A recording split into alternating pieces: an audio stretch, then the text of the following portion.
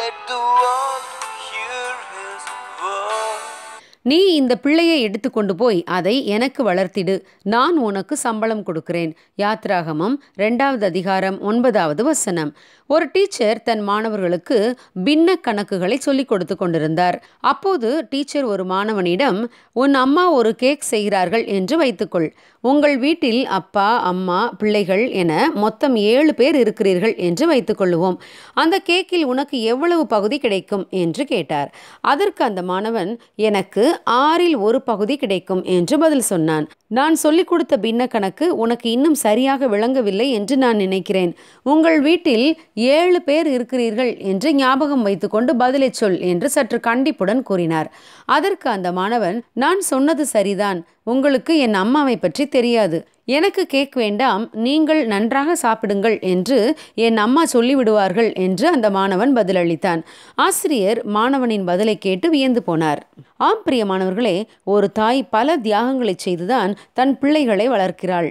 ஆகவே பிள்ளைகள் தங்கள் தாயை பாராட்ட வேண்டும். கணவனும் தன் பிள்ளைகளை நல்ல தாயாக இருந்து வழிநடத்துவதற்காக மனைவியை பாராட்டி அவர்களை மகிழ்விக்க வேண்டும். தாயின் பொறுப்பு ஒரு குடும்பத்தில் மிக முக்கியமானது.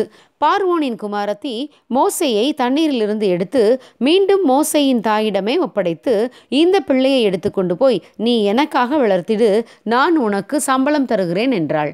ஆம் பிரியமான தாய்மார்களே மோசையைப் போலவே நமது பிள்ளைகளை தேவன் நமக்கு கொடுத்ததற்கும் ஒரு நோக்கம் உண்டு. நமது பிள்ளைகளை நாம் தேவனுக்காக வளர்க்கும்போது தேவன் அதற்கேற்ற சன்மானத்தை நமக்கும் தருவார். பிள்ளைகளை அன்பு காட்டி கேட்டதெல்லாம் வாங்கி கொடுக்கும் தாய்மார்களாகிய நாம் நம் பிள்ளைகளிடம் சற்று கண்டிப்புடனும் நடக்க வேண்டும். ஆவிக்குரிய காரியங்களில் அவர்களை நாம் நன்றாக பழக்குவிக்க வேண்டும். யூத பெண்கள் தங்கள் குழந்தைகள் சிறுவர்களாக இருக்கும்போதே அவர்களுக்கு ஆகமங்களையும் சங்கீதங்களையும் கருத்தாய் கற்றுக் கொடுத்து விடுகிறார்கள். உலக பிரகாரமான படிப்புகளில் நம் பிள்ளைகள் சிறந்து விளங்க வேண்டும் என்று நினைக்கிறோம். அதற்காக பல பயிற்சி வகுப்புகளுக்கு அவர்களை அனுப்புகிறோம்.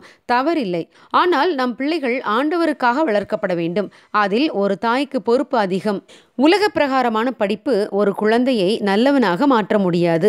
ஆனால் நாம் நம் பிள்ளைகளுக்கு கற்றுத்தரும் வசனங்கள் அவர்களை நல்லவர்களாக மாற்றும். அவர்களுடைய எதிர்காலத்தில் அவர்களை வழிநடத்தும். எனவே இந்த அன்னையர் தினத்தில் நம் தேவன் நமக்கு கொடுத்த பொறுப்பை நிறைவேற்ற தீர்மானம் எடுப்போம் நம்மை அர்ப்பணிப்போம். நம் பிள்ளைகளை அவருக்காக வளர்ப்போம். அன்னையர் அனைவருக்கும் அன்னையர் தின நல்வாழ்த்துக்கள். God bless you have a godly day